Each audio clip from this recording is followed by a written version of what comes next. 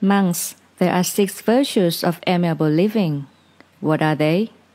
A monk treats his virtuous fellows with loving kindness, openly and privately.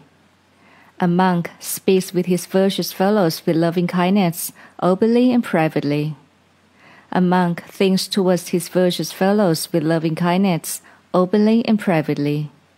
A monk shares things he rightfully received, including food from alms gathering, and consumes them with his virtuous fellows. A monk keeps the codes of conduct with virtuous fellows, openly and privately.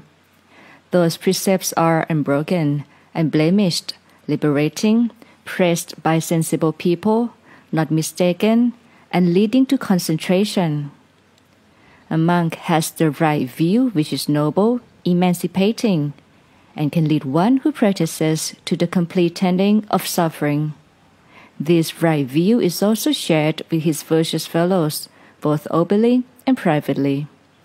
These are the six virtues of amiable living.